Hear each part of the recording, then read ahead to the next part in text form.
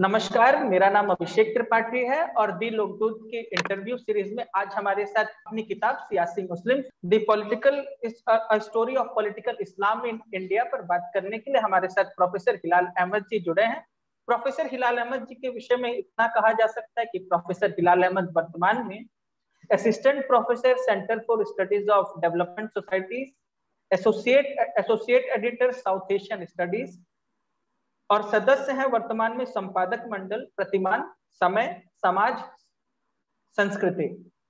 Professor Ahmad ने अभी तक, प्रोफेसर अहमद की प्रमुख किताबों के नाम हैं Muslims, political discourse in post colonial India, monuments, memory contestation democratic accommodation, minorities in contemporary India sir की दूसरी किताब है। और सर की तीसरी किताब जिस पर आज हम बात करेंगे और आज जो विमर्श के केंद्र में रहेगी उसका नाम है Siyasi Muslim story of political Islam in India नमस्कार सर, आपका फिर से एक बार स्वागत है।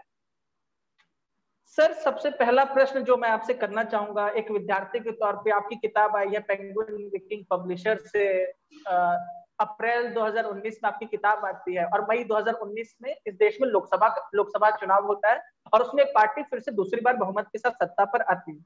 किताब का नाम सियासी मुस्लिम ही क्यों है? कोई खास वजह है किताब का नाम सियासी मुस्लिम रखने का?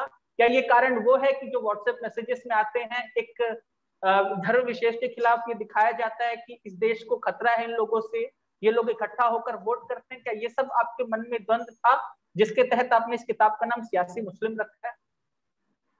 इस किताब का नाम सियासी मुस्लिम रखने के पीछे दो कारण थे। एक कारण और ये दोनों ही कारण जो है, वो किताब की भूमिका में स्पष्ट तौर पर बताए गए।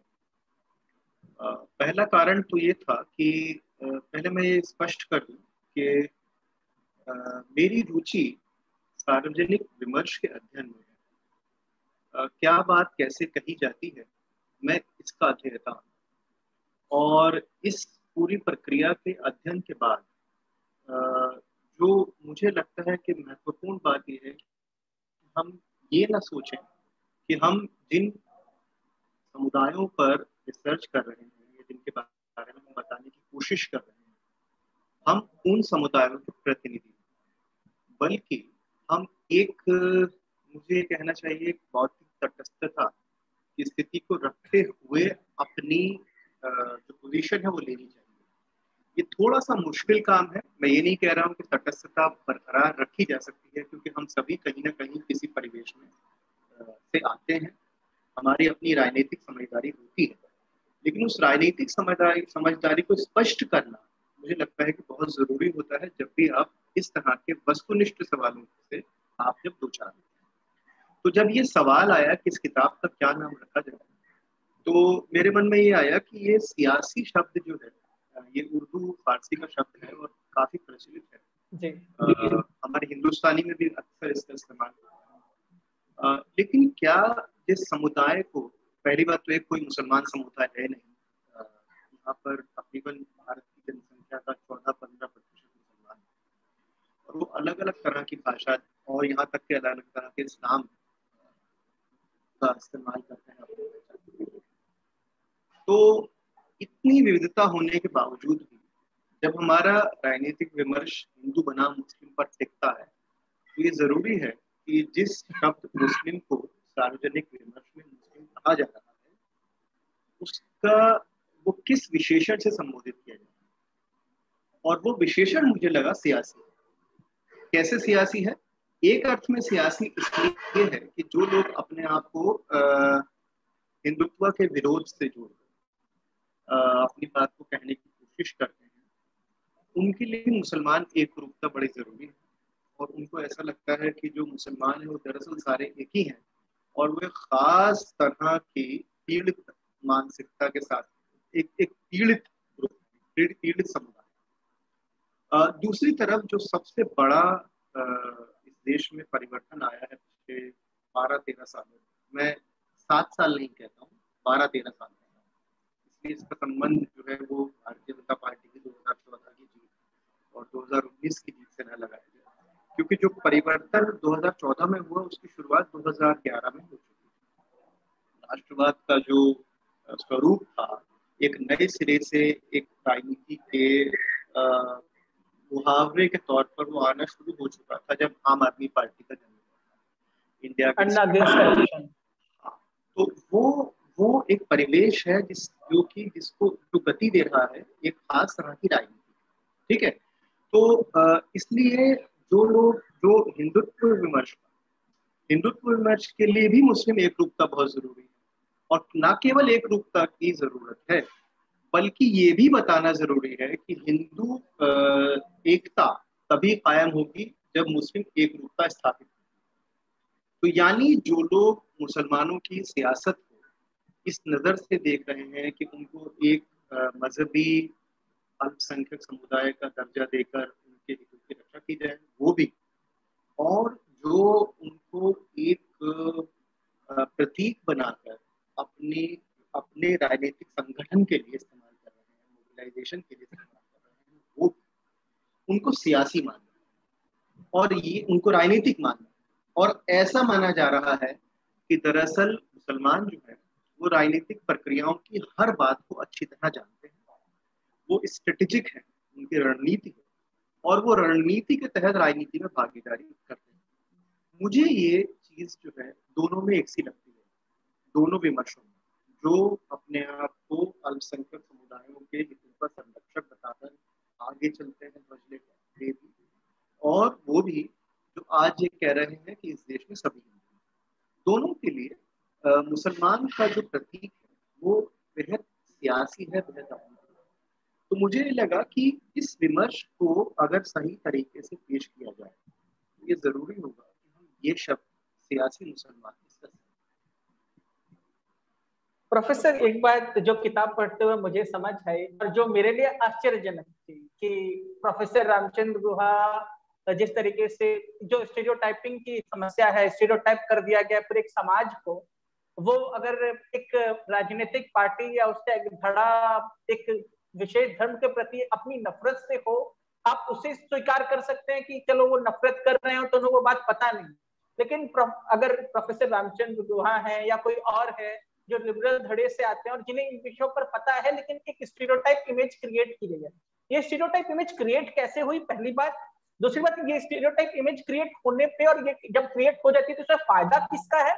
और तीसरा इस इमेज को तोड़ा कैसे जाएगा? क्योंकि तो मेरे लिए जो इमेज तोड़ी गई है वो इमेज आपकी किताब ने तोड़ी है। तो इस इन तीन बातों का अगर जवाब आप दे पाएँगे तो सर।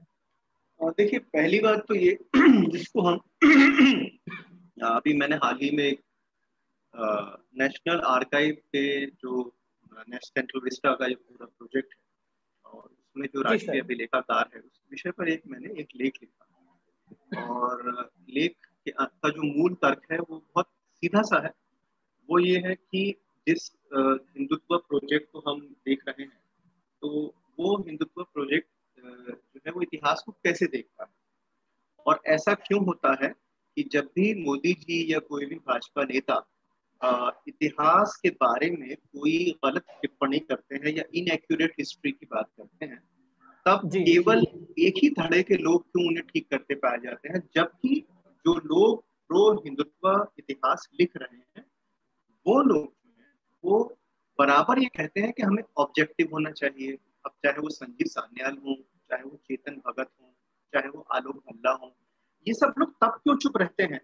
जब मोदी जी कहते हैं कि उन्होंने बांग्लादेश की लड़ाई में हिस्सा लिया था, बांग्लादेश की आज़ादी के समय में वो जेल भी गए थे ये लोग चुप क्यों रहते हैं जब ये आ, कहा जाता है कि सिकंदर और कोरस की लड़ाई जो है वो बिहार में हुई थी? तो बिहार में ये सारी ज़िम्मेदारी इसी के साथ अगर सर आप हाँ। इजाज़त दें तो इसी के साथ मैं एक और एग्जांपल जोड़ना चाहूँगा कि प्रधानमंत्री विदर की रैली से कहते हैं कि क्या कोई कांग्रेसी नेता भगत सिंह से मिला है? अगर इसे भी इस परिवेश में लिया जाए बिल्कुल। भगत तो सिंह के साथ। जी तो ये ऐसे सैकड़ों उदाहरण हैं जबकि इतिहास को इतिहास के बारे में कोई टिप्पणी की जाती है और उस टिप्पणी पर जो लोग हमें इतिहास का ज्ञान देते हैं, जो ये कहते हैं कि भारत का इतिहास जो है वो ठीक तरीके से नहीं लिखा गया है, वो और जो हमेशा कहते हैं, चाहे वो आलोक पल्ला हो, संजीव सान्याल हो, चाहे वो मधु किश्कर हो, ये लोग हमेशा कहते हैं कि हमें साइंटिफिक हिस्ट्री लिखनी है। तो ये उस समय में इनका विज्ञान कहाँ चला जाता है? तो ये सवाल मैंने उठाते हुए ये जो मेरा जो उसका जवाब था वो ये था कि दरअसल जो हिंदुत्व की राजनीति में जिसमें कि आप इमोशन बेस्ड हिस्ट्री या भावनात्मक इतिहास के बारे में आप कुछ कहकर पीछे हट जाते और दूसरा पक्ष ये है जो आपके अपने तथाकथित इतिहासकार हैं वो क्या करते हैं कि वो उस उस समय तो चुप रहते हैं जब भावनात्मक बातें होती हैं। लेकिन जब दूसरी तरह से वो अपने आप लिखने बैठते हैं तो कहते हैं कि हमारा जो इतिहास है वो वैज्ञानिक है। और इस तरह क्या होता है कि उनकी चुप्पी और भावनात्मक इतिहास की बात करने वाली जो राजनीति है दोनों एक साथ चलते हैं और हिंदुत्व प्रोजेक्ट का इतिहास का खेल चलता रहता है। अब इसका जवाब जो तथाकथित हमारे लिबरल दोस्त हैं वो कैसे देते हैं? उनकी नज़र में उनको ऐसा लगता है कि जो बाबा नेहरू हैं हम्म। व्यक्ति उनका मेथड नहीं है। उनके पास हर चीज़ का जवाब है। इसीलिए जब भी मोदी जी ये कहते हैं कि नए भारत के निर्माण वगैरह तो इसका तोड़ वो सत्तर साल पहले के किसी विचार से करना चाहते हैं। ये बात भूलते हुए कि नेहरू के भारत के विचार को सबसे पहले चुनौती इंदिरा गांधी ने सत्तर के दशक में दे दी थी जब उन्होंने कहा ये राजनीति हम यहाँ नहीं और उन्नीस सौ इक्यानवे में पूरी तरह से नेहरू का विचार छिन्न भिन्न कर दिया गया। तो जो आज का भारत का विचार है जिसको कि नए भारत के शुगर कोटिंग में प्रोड्यूस किया जा रहा है पैदा किया जा रहा है दरअसल वो तो उन्नीस सौ इक्यानवे के बाद का इतिहास है इससे नेहरू का कोई लेना देना ठीक है? अब अगर आप ये बात कहते हैं तो फिर आ, मेर, मेरे लेख पर जो प्रतिक्रिया हुई उसमें लोगों जो हमारे लिबरल दोस्त थे उनकी रुचि इस बात में ज़्यादा थी कि नेहरू को बुरा क्यों कहा गया? उनकी रुचि इस बात में कम थी कि इस बात को देखा जाए कि आखिर हिंदुत्व की राजनीति में इतिहास की जगह कहाँ है।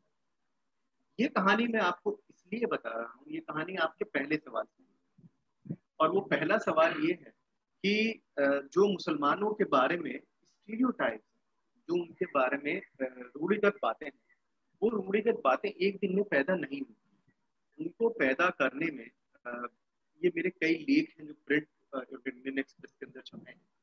अंग्रेज़ी में है मतलब उनमें ये मैंने ये दिखाने की कोशिश की है कि जो एक मुसलमान की एक आदर्श पहचान है वो क्या है? वो चाहे वो नेहरू के जमाने में हो, चाहे वो इंदिरा गांधी के जमाने में हो, चाहे वो राजीव गांधी के जमाने में हो, आदर्श मुसलमान आदर्श मुसलमान की राजनीतिक पहचान क्या है। एक पहचान है कि वो हमेशा अपनी जो अल्पसंख्यक पहचान है, उसको लेकर चले। दूसरी बात ये कि वो जब भी अपने आप को प्रोग्रेसिव कहे तो वो अपनी जो वो इस तरह से अपने आप को प्रगतिशील करे कि वो ये कहे कि मैं अलग हूँ, लेकिन मेरा पूरा समुदाय जो है पिछड़ा हुआ है। वो ये कहे कि मैं तो आधुनिक हो गया, लेकिन मेरा समुदाय पिछड़ा हुआ है, इसलिए मुझे राज्य की मदद चाहिए अपने समुदाय को आगे करने के। लिए तो मुस्लिम जो समाज है, उसकी एक ऐसी पिक्चर हमने पेंट कर दी। एक ऐसा चित्र हमारे सामने जिसमें हम ये मानकर चलते हैं कि पिछले 200 साल में मुस्लिम समुदाय में कुछ नहीं हुआ। और यही जो आधार था, जो इंडियन एक्सप्रेस की जिस बहस का आप उदाहरण दे रहे हैं यही आधार जो है वो दरअसल इस पूरी बहस में अगर मैं उसमें उस पूरी बहस में मुझसे भी कहा गया था कि मैं भी भाग लूँ लेकिन मुझे लगा कि मैं किसके खिलाफ और किसके समर्थन में लिखूँगा। मुझे उसमें केवल एक एक लेख बहुत पसंद आया था सुहास पक्ष का देखिए उन्होंने ये तर्क दिया था कि ये कहना कि पूरे मुस्लिम समुदाय दरअसल एक सही है। हम बात कर रहे हैं अठारह करोड़ लोगों की और हम ये कैसे हम्म। मान लें कि आधुनिक जो जिसको हम भारत की आधुनिकता कहते हैं, जिसको हम लिबरलाइजेशन कहते हैं, बहुत सारी चीज़ें कहते हैं, उसका असर इन इन समुदायों के ऊपर नहीं पड़ा होगा। तो हर एक समुदाय अपनी अपनी आधुनिकता अलग अलग तरीके से बनती है। इसलिए जिस, जिसको हम मुसलमानों के प्रति ये बात कहने की कोशिश कर रहे हैं कि कुछ स्टीरियोटाइप्स हैं वो एक दिन में नहीं बने। और वो जो पहचान है, उसकी प्रक्रिया है जिसको कि हर एक राजनीतिक खड़े ने अपनी तरह से परिभाषित। और क्या इसी स्टीरियोटाइप की आवश्यकता हिंदुत्व को है? चाहे हिंदुत्व को मुसलमानों की ज़रूरत है? और अगर है तो क्या मुसलमानों को कॉमन एनिमी दिखाकर उन्हें अन्य माइनॉरिटीज का, चाहे वो जैन हो, सिख हो, बुद्धिस्ट हो, उन्हें अपने साथ लेना है हिंदुओं के साथ? या साथ ही साथ उन्हें हिंदुओं के अंदर एक जो मेजोरिटी ना माइनॉरिटी कॉम्प्लेक्स दिखाने की एक जो बहुमत है, बहुसंख्यक है, उसे भी ये दिखा देना कि तुम भी डरो। ये बहुत आम था कुछ सालों तक, पहले तक ये कहना कि इस्लाम खतरे में है। लेकिन ऐसे देश में जहाँ सौ करोड़ की आबादी हिंदुओं की हो, वहाँ ये कहना कि हिंदू भी खतरे में, क्या ये उसी स्टेरियोटाइपिंग का असर है? उसी उसी मैन्युफैक्चरिंग कंसेंट का हिस्सा माना जाना चाहिए? नहीं, मुझे ऐसा लगता है कि ये एक बार फिर जिस जो आप सवाल पूछ रहे हैं, वो हमको कहीं और लेकर चला जाएगा। इसलिए इस सवाल से, इस सवाल की डायरेक्शन को हमें थोड़ा बदलना पड़ेगा। जैसे मैंने शुरू में शुरू में ये कहा कि हमें ये पता होना चाहिए कि हम विमर्श का अध्ययन कर रहे हैं। और अगर हम विमर्श का अध्ययन कर रहे हैं तो ये जो तथाकथित विमर्श हमने अभी स्थापित कर दिया है है का कि हिंदुओं को मुसलमानों से भय है और मुसलमानों को हिंदुओं से भय है इसको हमें थोड़ा अलग नज़रिए से देखना चाहिए कि इसका फ़ायदा कैसे होता है। ये भय क्यों दिखाया जा रहा है? इस भय को दिखाने का कारण क्या है वो मेरे लिए ज़्यादा बड़ा सवाल है। ये देखिए ऐसा होता है एक गालिब का मैं आपको एक बहुत अच्छा सा उदाहरण देना चाहता हूँ। बिल्कुल सर। गालिब को जुए खाने में जब उनको पकड़ा गया तो उनके वकील ने उनको ये कहा हाँ। कि आपको जाना नहीं चाहिए था वहाँ।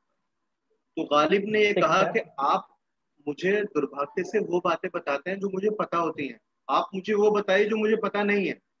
आ, मेरा काम जो है एक अध्येता एक रिसर्चर के तौर पे वो ये है कि मैं वो बातें बताऊँ जो लोगों को पता नहीं या जिनके ऊपर कम बात हो रही है ना? तो अब हिंदू बनाम मुस्लिम का डर जो है वो एक ऐसी बात है जो हम सबको पता है। रोज रात को नौ बजे हम टीवी पे देख लेते हैं कि ऐसा ही होगा लेकिन इसका दूसरा पक्ष है कि आखिर ऐसा क्यों है ना? तो ये कैसे शुरू हुआ और कहाँ से शुरू हुआ? देश क्या इसका कोई संबंध देश की आर्थिक स्थिति से है या नहीं है? मेरे लिए ये बड़ा सवाल है। क्या इसका कोई संबंध सरकार की निष्क्रियता से है या नहीं है ये बड़ा सवाल है। और जिस हिंदू एक और एक बहुत बड़ा सवाल जो अभी बहुत तेज़ी से उभर रहा है हम बात नहीं कर रहे हैं उसके ऊपर कि ये जो राज्य है हमारा इस राज्य का स्वरूप हम्म। क्या है? ये राज्य ये कह रहा है और ये राज्य का स्वरूप का मतलब बीजेपी के राज्य का स्वरूप नहीं कह रहा मैं। मैं ये कह रहा हूँ हम भारतीय राज्य के स्वरूप की अगर बात करें ये भारतीय राज्य जो कि उन्नीस सौ इक्यानवे की नई आर्थिक नीतियों के बाद में पनपा फूला है ये भारतीय राज्य की अपनी सेल्फ इमेज क्या है? वो अपने आप को कैसे देखता है? वो ये कहता है कि मेरा काम कॉम्पीटिंग इंटरेस्ट जो अलग अलग जो लड़ाइयाँ हैं उनको सुलझाने का है। जी। मेरा काम आपकी ज़िंदगी बदलने का नहीं है। और ये बात जो है वो मीठे तौर पर मनमोहन सिंह जी की सरकार कहा करती थी कड़वे तौर पर नरेंद्र मोदी की सरकार कहे तो मुझे ऐसा लगता है कि ये जो बड़े सवाल है आ, क्या हम ये कह रहे हैं कि जो 1900 2000 वाला दशक था उस समय में इस देश के कॉरपोरेट को कोई फ़ायदा नहीं हो रहा था? हम ये कह रहे हैं? ये कॉरपोरेट बनाम राजनीति का जो खेल आज कांग्रेस खेल रही है वो सिर्फ़ मोदी जी के आने के बाद हुआ है। मेरा ये मानना है कि हिंदू बनाम मुस्लिम का सवाल और इसको विमर्श बना देने का फ़ायदा निसंदेह भारतीय जनता पार्टी को होगा लेकिन इसका फ़ायदा पॉलिटिकल क्लास को भी होगा। और यही वजह है कि आज जिस जिस तरह से एक जमाने में ये कहा जाता था कि मुसलमान को मत छेड़ो ये वोट नहीं देगा। आज स्थिति हिंदू के साथ में भी ऐसी है कि हिंदू की बात ना करो। अरे भाई आपके केरल में कम्युनिस्टों की सरकार है ठीक है? और उस कम्युनिस्टों की सरकार के अंदर ये हुआ कि सबरीमाला पर अब थोड़ी सी चुप्पी भी बनानी ज़रूरी है। तो अगर आपके आपकी राजनीति प्रिंसिपल्स की नहीं है आपकी जो राजनीति है वो आदर्शों की राजनीति नहीं है तो किसी ये पूरी पॉलिटिकल। क्लास का खेल तो हिंदू बनाम मुस्लिम जो है वो सरफेस लेवल पर है ऊपर के स्तर पर है। लेकिन नीचे की प्रक्रियाएँ जो है या उसके पीछे की जो राजनीति है उसके ऊपर हम ना तो बात करते हैं ना हम बात करना चाहते हैं। जी। प्रोफेसर अगले प्रश्न की तरफ़ बढ़ते हैं। सर, आप अपनी किताब में उल्लेख करते हैं कि 11 मई 1958 को एआईसीसी के ओपन सेशन में नेहरू कहते हैं, majority communalism wears the garb of nationalism. क्या भारत में जो आज के परिप्रेक्ष्य में देखा जाए तो क्या ये वही हो रहा है? या इससे की या इससे 2014 से पहले के वर्ष में देखा या आप इसे थोड़ा आगे ले जाते हैं? हम 2008 या 2009 की तरफ़ जाए या उससे भी पहले जाते हैं? जब सच्चर कमेटी की रिपोर्ट आती है तो क्या ये वैसा ही हो रहा था, मेजोरिटी कम्युनलिज्म को? नेशनलिज्म समझ लिया जा रहा था या अभी कुछ हाल चाल बदले हैं? सारी बातों का जवाब जवाहरलाल नेहरू से अगर हम मांगेंगे तो हम नेहरू के साथ अन्याय करेंगे। मुझे लगता है कि कुछ हमें खुद भी अपने आप सोच लेना चाहिए। आ, वो जो एक खास परिप्रेक्ष्य था जिसमें नेहरू ने वो बात कही थी और वो ये था कि जो मेजोरिटी कम्युनलिज्म होता है बहुसंख्यक का जो राष्ट्रवाद होता है। वो बहुसंख्यक सांप्रदायिकता राष्ट्रवाद को स्वरूप ले लेती है। ये बात जो है ये नेहरू ने उन्नीस में कही थी लेकिन इसके कई स्वरूप जो है वो हमें सन सत्तर के दशक में भी देखने को मिलते हैं जबकि कांग्रेस की सरकार। ऐसा नहीं है कि कांग्रेस की सरकारों में ऐसा कुछ नहीं होता था ऐसा ही होता था। देश में सबसे ज़्यादा मुस्लिम एमपी अगर लोकसभा में हुए हैं तो वो अस्सी से चौरासी का लोकसभा है। और चौरासी नहीं चौरासी से जो नवासी वाली लोकसभा है वो। और चौरासी से नवासी के बीच में सबसे ज़्यादा जो सांप्रदायिक दंगे खासतौर से उत्तर भारत में हुए हैं वो भी हम जानते हैं। ये कहना कि मुस्लिम प्रतिनिधित्व का संबंध जो है वो सांप्रदायिकता के साथ में है ये मुझे लगता है कि थोड़ा ज़्यादा है हम बड़ी सतही बात कर रहे हैं।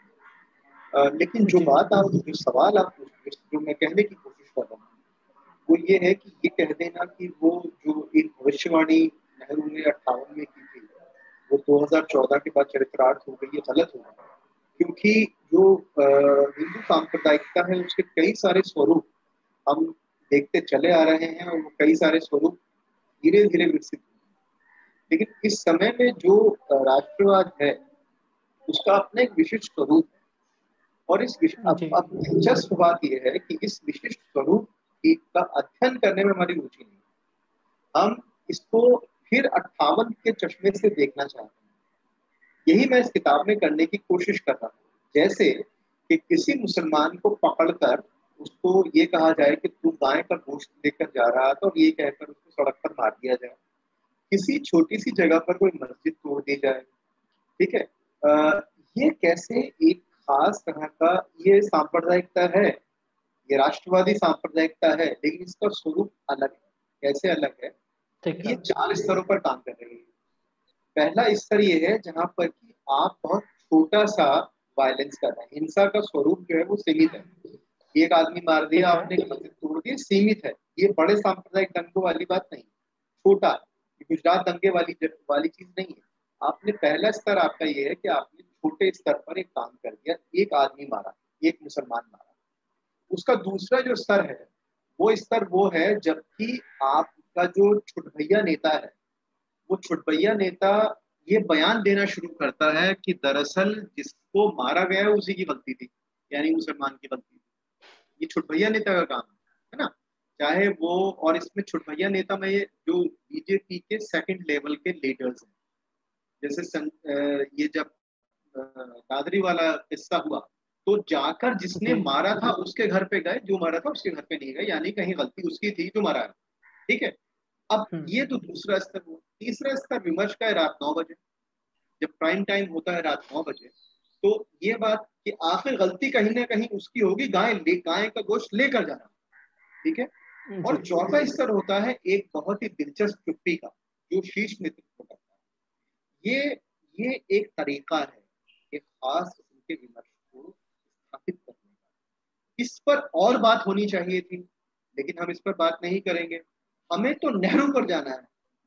देखिए जब तक आप वही मैं जो बार बार कहने की कोशिश कर रहा हूँ अब जैसे ये पूरा जो नया आइडिया है जो जिसे नया भारत कहा जा रहा है ठीक है? इस इस किताब के छपने के बाद तकरीबन पाँच छह लेख लंबे मैं इस विषय पर लिख चुका हूँ। ठीक है? बदकिस्मती ये है कि उस पर आप, क्योंकि वो नई चीज़ है, इसलिए उस पर कोई नई बात करने की रुचि किसी में नहीं क्योंकि आप, हम किस समाज में रह रहे हैं? वो समाज है ready to use question and ready to use answer मेरे पास लगे मते सवाल हैं, जिनका मुझे क्लिक करते ही जवाब चाहिए। तो सोचने की कवायद जो है, वो हमने छोड़ दी है। और सारा का सारा जो ठीकरा है वो अपने विरोधी पर मंड देना चाहते हैं और जवाब हम ढूंढना चाहते हैं अंबेडकर नेहरू गांधी के साथ में। तो कैसे होगा? ठीक तो इसका मतलब ये हुआ कि जो सांप्रदायिकता का पूरा सवाल है वो नए सिरे से परिभाषित हो रहा है। हमारा दुर्भाग्य ये है। कि हम उस नए सिरे से उबजने वाली सांप्रदायिकता को विश्लेषित नहीं कर पा रहे हैं और उसकी वजह से जो उसकी राजनीति है वो सुदृढ़ होती चली जा रही है। ठीक है? तो और जब मैं कह रहा हूँ राजनीति तो मैं राजनीति के पैरोकार तो निसंदेह भाजपा है लेकिन इस भाजपाई विमर्श ने पूरे राजनीतिक जो वर्ग है उसको अपने लपेट में ले लिया है। राजनीतिक वर्ग में अब इतनी क्षमता नहीं है कि वो कोई ऐसा सिद्धांत गढ़े जो ये कहे कि हिंदू धर्म की इज़्ज़त करते हुए भी मैं ये कह सकता हूँ कि ये हिंदू धर्म नहीं है। ये कहने की किसी में भी ज़रूरत नहीं है। इसका मतलब ये कि आपके जो इलेक्टोरल कंसिडरेशन है, आपके जो चुनावी फ़ायदे और नुकसान की जो सोच है, उसी सोच से आपकी परिभाषा में आपकी विश्लेषण तय हो रही है। और दुर्भाग्य ये है कि हम जैसे पढ़ने लिखने वाले लोगों का बड़ा तबका भी उसी तरह से काम कर रहा है। जैसे कांग्रेस उसकी नेता है और राहुल गांधी को आप कुछ नहीं कह सकते। आपको अगर नरेंद्र मोदी को बुरा कहना है तो राहुल गांधी को अच्छा कहना पड़ेगा। ये एक इतना बड़ा चीज़ बन के उभर कर सामने आई है कि इससे जो जटिल, जटिलताएँ हैं, निश्चित होने से जी। प्रोफेसर, मेरा अगला प्रश्न इस कड़ी में जाता है कि अगर मुस्लिम्स को बैकवर्ड के तौर तौर पर देखा जाए, मुस्लिम्स एस बैकवर्ड देखा जाए और हम उसे मानते हैं तो उनके लिए सोशल जस्टिस का स्कोप कितना है? ये स्कोप शाहबुद्दीन में मिलता शाहबुद्दीन के मॉडल में मिलता है, अंसारी के मॉडल में, अनवर जिकिन के मॉडल में ज़्यादा स्कोप है सोशल जस्टिस का। आपके मत मत अनुसार यही यही इस चैप्टर जो इस चैप्टर का आप ज़िक्र कर रहे हैं, ये चार लोग हैं, और ये चार लोग एक एक दूसरे से बात कर रहे हैं, है ना? मेरा काम एक रिसर्चर के तौर पर ये इंगित करना है कि इन चारों की जो राजनीति है, कहाँ से ड्रिवन है। उसकी उसकी राजनीति का स्वरूप है एक बात। दूसरी बात ये कि हमेशा जो राजनीति है उसका एक बड़ा मुहावरा होता है जो कि आपकी तमाम बातचीत को प्रभावित करता है है ना? जैसे कि सन पचास की पचास से साठ की राजनीति में समाजवादी ढंग का समाज एक बड़ा मुहावरा था। तो हर एक राजनीतिक दल को उसको रिस्पोंड करना था अपने आप को समाजवादी तो जनसंघ भी समाजवादी अपने आप को कहता था समाजवादी समाजवादी थे कम्युनिस्ट भी समाजवादी थे कांग्रेस समाजवादी थी सब कोई समाजवादी है ना? साठ से सत्तर के दशक में समाजवाद का स्वरूप थोड़ा सा इधर उधर हो गया और ये बना रहा लेकिन इसमें कुछ कुछ चीज़ें बदलती गई इसी वजह से सत्तर के दशक में भाषा बदल गई रही। सत्तर के दशक में गरीबी हटा तो जनसंघ भी गरीबी हटा रहा था इंदिरा गांधी भी गरीबी हटा रही थी कम्युनिस्ट भी गरीबी हटा रहे थे क्यों? नब्बे के दशक तक आते आते अब हमारे पास सामने एक नया मुहावरा राजनीति का आ गया सेकुलरवाद तो हर आदमी जो है वो सेकुलर हर पार्टी सेकुलरवाद की बात करने लगी। यहाँ तक कि बीजेपी ने भी कहना शुरू कर दिया कि कांग्रेस का सेकुलरवाद शिदम सेकुलरवाद है हमारा सच्चा है। तो हर कोई सेकुलरवाद की बात जी। ये जो सोशल जस्टिस वाली राजनीति है ये आई 2000 के अंदर। ये जो मुहावरा था सोशल जस्टिस सामाजिक न्याय का ये उन्नीस सौ इक्यानवे में इसका जन्म हुआ। और ये जवान हुआ 2000 के युग में जबकि सच्चर कमीशन आ गई बैकवर्ड क्लासेस कमीशन तिरानवे चौरानवे तो ये वाला जो विमर्श था ये इसने जो नई परिभाषा जिसको हमें दिया वो था इंक्लूजन एक्सक्लूजन कि कौन शामिल है कौन शामिल नहीं है। और शामिल नहीं है मुसलमान शामिल नहीं है वगैरह और फिर क्या हुआ? इसीलिए मैंने शुरू में भी ये कहा कि 2011 के अंदर राष्ट्रवाद एक नया मुहावरा बनकर आया है। तो इसलिए हर कोई राष्ट्रवाद हम्म। हर कोई अपना जो है वो राष्ट्रवाद क्लेम करने के चक्कर में लगा हुआ है। अब जो आपका जो जो सवाल है उसका क्रक्स ये है कि मुसलमानों को पिछड़ा कहा जाता है। मेरा जो काम है वो ये है कि इस पिछड़ेपन के विमर्श की राजनीति है। देखिए हमेशा अच्छा रिसर्च उसे माना जाता है जो ये बताए कि मैं इतना कहता हूँ इतना नहीं कहता। मैं केवल विमर्श की राजनीति का अध्ययन करने वाला श्रोता मैं ये नहीं जानता और मैंने, मेरी कोई इसमें दिलचस्पी भी नहीं है कि मुसलमानों का अपलिफ्टमेंट कैसे होगा मैंने शुरू में ये कहा कि मुसलमानों का नुमाइंदा नहीं हूँ मैं और ये मेरी ज़िम्मेदारी नहीं है कि मैं ये बताऊँ कि वो ये करें या ये ना करें। मेरी ज़िम्मेदारी ये है कि ये जो पिछड़ेपन की राजनीति है, खेली कैसे जाती है, इसके खिलाड़ी कौन कौन है और इसका असर क्या है? जी। प्रोफेसर, अंतिम प्रश्न।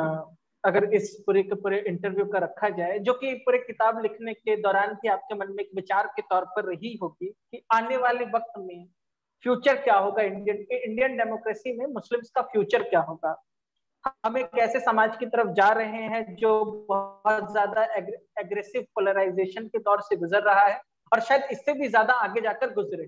तो मुस्लिम्स का इस इंडियन डेमोक्रेसी में क्या रोल रहेगा? क्या वो लीड करेंगे? क्या हम क्या हम उन्हें और ज़्यादा अच्छे से देखेंगे? या जो आप बताते हैं कि एक मौन सहमति भी है जैसे एंटी हिंदुत्व ग्रुप्स जैसे कुछ फॉर्म नहीं हो रहे हैं इन सब चीज़ों के खिलाफ तो क्या रहेगी आगे की रणनीति? अगर आप आप अपनी समझ से बताना चाहेंगे तो आप क्या बताएँगे? आपका इसमें मत क्या है? मेरी जो अब जो आने वाली किताब है उसका नाम है आज़ाद जी। आज़ाद आज़ाद और उस किताब का जो मूल तर्क है वो यहाँ 2019 तक की बात है कि जैसे मैंने कहा मैं हमेशा मेरी रुचि क्या हो रहा है समाज में उसमें ज़्यादा होती है। ना कि किसी को सुझाव देने में कि वो ये कर है ना? आ, जो। मुझे लग रहा है वो ये है कि पूरे जब हम कहते हैं भारतीय समाज तो हमें एक बात याद रखनी चाहिए कि भारतीय समाज जो है वो बहु धार्मिक बहु सांस्कृतिक ये बहुत इंपॉर्टेंट है। उसमें धर्म अलग अलग है संस्कृति एक। अब अब संस्कृति एक है तो संस्कृति जो है और संस्कृति का मतलब ये ना समझा जाए संस्कृति का मतलब ताजमहल कुतुब मीनार खजुराहो नहीं होता। संस्कृति का मतलब हम और आप कैसे बात कर रहे हैं? हम्म? तो संस्कृति का जो आज का मायना है वो ये है कि ये नितांत व्यक्तिवादी संस्कृति हो चुकी है। उसके अंदर हिंदू भी नितांत व्यक्तिवादी होंगे मुसलमान भी नितांत व्यक्तिवादी जिनको केवल और केवल अपने आप से मतलब है और इसलिए नैतिक पतन है समाज में। तो मैंने एक लेख लिखा था कि जिसको आइडिया ऑफ़ पीपल कहा जाता है जन का विचार। जो जन है वो बहुत शरीफ भोला सीधा नहीं है। वो जन निहायत बदमाश है। वोटर एक नंबर का बदमाश है उसको मालूम है क्या करना है और क्या नहीं करना तो इसलिए हर एक स्तर पर एक जो शक्ति संरचना है वो हर एक स्तर पर स्थापित अब हम ये उम्मीद करें कि नेता खराब होते हैं लोग बड़े अच्छे होते हैं मैं इस बात को मानने को तैयार नहीं ठीक है? तो जो जन का विचार है वो जन का विचार समाज बना रहा है और वो जन के तीन विचार हमारे पास हैं। एक आम आदमी का विचार एक टैक्स पेयर का विचार और एक वोटर का विचार ठीक है? आम आदमी का मतलब ये है कि उसके साथ बड़ा अन्याय हो रहा है व्यवस्था ने बड़ा अन्याय किया। अगर व्यवस्था के अंदर कुछ नियम ठीक हो जाएँगे तो आम आदमी भी ठीक हो जाएगी। ये केजरीवाल जी हमें अक्सर बताते वोटर वाले में ये है कि मोदी जी हमेशा अक्सर हमें ये बताते हैं अरे भाई मुझे मेजोरिटी ने चुना है। हालाँकि चुना केवल सैंतीस प्रतिशत। ठीक है? जी जी। और टैक्स पेयर ये कॉर्पोरेट से आई है बात कि टैक्स पेयर मनी अरे यार इस देश का किसान सबसे बड़ा टैक्स पेयर है।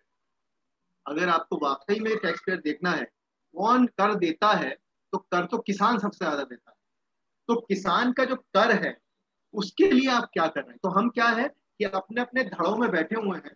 और समाज के पतन इसलिए समाज सुधार नाम की कोई चीज़ हमारे है नहीं। इस परिप्रेक्ष्य में मुसलमान को रखकर सोचने की ज़रूरत इस परिप्रेक्ष्य में मुसलमान को अगर हम रखकर सोचेंगे तो भारतीय राजनीति या भारतीय लोकतंत्र का भविष्य क्या हो क्या नहीं हो भारतीय लोकतंत्र केवल और केवल इससे जुड़ा हो जिसे हम इलेक्शन कहते हैं तो गलत होगा। भारतीय लोकतंत्र साथ में रहने की भावना का नाम है। और वो मुझे लगता है कि अभी बची हुई है। साथ में रहने की लोग विविधताओं के साथ रहना चाहते हैं। मैं अभी हमारा एक सर्वे हुआ है जिसमें बात साफ़ आई है। एक व्यू का सर्वे जो कि इंटरनेशनल तीस हज़ार लोगों का से बात की थी जिसका मैं हिस्सा था। उसमें हमने ये सवाल पूछा उसमें भी ये बात आई कि लोग साथ रहना चाहते हैं बिना अपनी पहचान को खत्म किए। ठीक है? तो इसका मतलब अगर ये लोकतंत्र है तो इस लोकतंत्र में साथ में रहने वाला जो जो विचार है वो मुसलमान हो या हिंदू दोनों के लिए ज़रूरी है देखिए जो साथ में रहने का विचार हिंदू के लिए भी ज़्यादा ज़्यादा ज़रूरी है क्योंकि उसमें जो कट्टरता है उसके अपने आने वाले भविष्य के लिए बुरी है। क्योंकि जैसे आपने हम्म। शुरू में कहा सौ करोड़ हिंदू हैं तो सौ करोड़ हिंदू में जब ये बात आती है कि अत्याचार देश की जनता पे हो रहा है तो ज़्यादा अत्याचार तो इस देश के हिंदुओं पे हो रहा होगा ना? तो उसके ऊपर दिल क्यों नहीं दुखता? हमेशा उन्हीं मस्जिदों के का नाम क्यों लिया जाता है? उन्हीं उन्हीं मंदिरों का नाम क्यों लिया जाता है जिनका संबंध किसी मुसलमान से उन मंदिरों का क्या? जो ढेरों लाखों मंदिर ऐतिहासिक इस देश में इधर उधर एम ही पड़े हुए हैं। आप उनके संरक्षण पर तो ध्यान नहीं देते तो ना तो आपको हिंदू धर्म की चिंता है, ना हिंदू लोगों की चिंता तो इसमें मुसलमानों का जो भविष्य ये बात आती है तो साथ रहने की जो बात है, वो भारतीय लोकतंत्र की बहुत जो ये बताता है कि समाज लोकतांत्रिक व्यवस्था कितनी लोकतांत्रिक रहेगी इसकी ज़िम्मेदारी जो है वो पॉलिटिकल क्लास की है। जब मैं कह रहा हूँ पॉलिटिकल क्लास तो इसमें हर एक पार्टी शामिल ठीक है? तो वो पॉलिटिकल क्लास अपने इंटरेस्ट के साथ अपने हितों के साथ भारत के मुसलमानों को कैसे देखेगी ये भविष्य में तो देखना पड़ेगा। तो इसलिए मैं इसको कंक्लूड ये करूँगा कि एक तो सामाजिक पतन है। उस सामाजिक पतन को लेकर हम कितने चिंतित हैं मुझे नहीं लगता कि इस पर कोई बात हो रही है। कि समाज का पतन हो गया। आपके यहाँ पर अगर ये हो जाए कि पाँच हज़ार लाशें आपके यहाँ बिखरी हो कोविड की यूपी में ठीक है? और उस पर जो रोना रोने वाले लोग हो एक तो है चुप्पी जो शीर्ष नेतृत्व तो चुप रहेगा उसको तो हम आलोचना करेंगे करेंगे। लेकिन जो बहुत संवेदनशील लोग हैं वो उसके पाँच दिन बाद अलग अलग किस्म के व्यंजनों की तस्वीरें सोशल मीडिया पर शेयर करें कि आज मैंने लॉकडाउन में ये खाना बनाया था तो फिर कौन सा हम किस किस कितने सेंसिटिव है हम बताइए। हम कितने संवेदनशील होंगे। आज स्थिति ये है कि जो लोग ये कह रहे थे कि जो लोग पलायन कर रहे हैं मजदूर उनके ऊपर हमें रोना चाहिए और लोगों के पास में खाना नहीं है। वही लोग बिरयानी की नई नई डिशेस बनाकर सोशल मीडिया पर शेयर कर रहे थे। तो इसका मतलब फिर ये हुआ कि आपकी आप संवेदनहीनता की उस उसके उस स्तर पर पहुँच चुके हैं। इसमें हिंदू भी है और मुसलमान भी है। उस सुधार को कौन उस, उस सुधार पर कौन जाएगा? कौन उस पर बात करेगा? तो अगर वो सुधार नहीं हुआ तो साथ तो हम रहेंगे लेकिन एक समाज के तौर पर हमारा पतन हो जाएगा और उसका जो फ़ायदा है वो ये होगा फ्री एंड फेयर इलेक्शन तो कब के जा चुके? हाँ इलेक्शन ज़रूर होते रहेंगे। इसी तरह की सरकारें आती रहेंगी चाहे वो बीजेपी की हो या किसी और पार्टी की हो। अब देखना यह है कि इसमें जो छोटे और कमज़ोर देखिए मैंने कहा मुसलमान एक तो है नहीं अलग अलग किस्म के मुसलमान। जो मुसलमानों के कमज़ोर तबके होंगे वो मुसलमान हाँ। कमज़ोर तबके हिंदू के कमज़ोर तबके नई सर्वाइवल स्ट्रेटेजीज बनाएँगे कि हमें कैसे ज़िंदा रहना है इस समाज में। यहाँ सबसे बड़ा सवाल मेरी लिंचिंग नहीं है मेरी भूख है मेरी बेरोजगारी ठीक है। और वो सबके लिए। प्रोफेसर बहुत बहुत थैंक यू हमें वक्त देने के लिए। हम उम्मीद करते हैं कि आपकी अगली किताब आज़ाद मुसलमान जब आए तो उस पर भी हम बात करें और उस पर भी एक विमर्श के, विमर्श का केंद्र स्थापित करने की बात करें। इससे पहले कि ये इंटरव्यू हम खत्म करें और प्रोफेसर हिलाल अहमद जी के साथ हम अपना ये कारवा यही रोकें, इससे पहले हम, मैं कुछ बातें, दो दो बातें इंगित कर देना चाहता हूँ कि क्यों ये किताब पढ़ना आप लोगों के लिए ज़रूरी हो सकता है। मेरे लिए एक बीस वर्षीय लड़के के लिए क्यों ये किताब पढ़ना ज़रूरी है? क्योंकि हम जिस संस्कृति और जिस तरह के समाज में पल रहे हैं, वहाँ बार बार बताया जाता है कि तुम अपने धर्म को मानो, अपनी संस्कृति को मानो, क्योंकि तुमसे ज़्यादा मुसलमान पूजा पाठ कर रहे हैं, तुमसे ज़्यादा वो अपनी धार्मिक रीतियों को निभा रहे हैं। तब 2015 में सीएसडीएस का इंटर सीएसडीएस का सर्वे आता है, जिसमें सर अभी आप वर्तमान में असिस्टेंट प्रोफेसर हैं उस इंस्टीट्यूट के लिए, और वो बताता है कि मुस्लिम से ज़्यादा तो सिख और क्रिश्चियन रिलीजियस हैं। और रिलीजियस माइंडेड है और और वो रिलीजियस कॉन्फिडेंस शो करते हैं। और दूसरी बात फिर ये किताब एक बात इसलिए भी पढ़, पढ़ी जानी चाहिए कि मुसलमानों के लिए जो सच्चर कमेटी की रिपोर्ट का कहा जाता है कि ये उनकी लाइफ चेंजिंग रिपोर्ट थी उसे प्रोफेसर अपनी किताब में कहते हैं कि publication of Sachar report gave new twist new twist to the idea of Muslim appeasement in सब बातों के साथ हम चाहते हैं कि प्रोफेसर की तीनों किताबें पढ़ी जाए लेकिन सबसे ज़्यादा अगर पढ़ी जाए ये बहुत किसी इतिहासकार या राजनीतिक विश्लेषक के साथ नाइंसाफी होती है कि कोई दूसरा व्यक्ति कहे कि इनकी ये वाली किताब ज़्यादा पढ़ी है तो मुझे सबसे ज़्यादा प्रोफेसर की सियासी मुस्लिम की किताब ज़्यादा अच्छी लगी है। और सर, एक और बार थैंक यू इस बात के लिए कि आपका हिस्ट्री में भी Jama Masjid as a living heritage का एक आर्टिकल है, उसे भी हमने पढ़ा है और उसे पढ़कर हम एंचांटेड रहे हैं और बहुत डिलाइटेड रहे हैं। थैंक यू सर बार बार धन्यवाद हमें समय देने के लिए। Thank you sir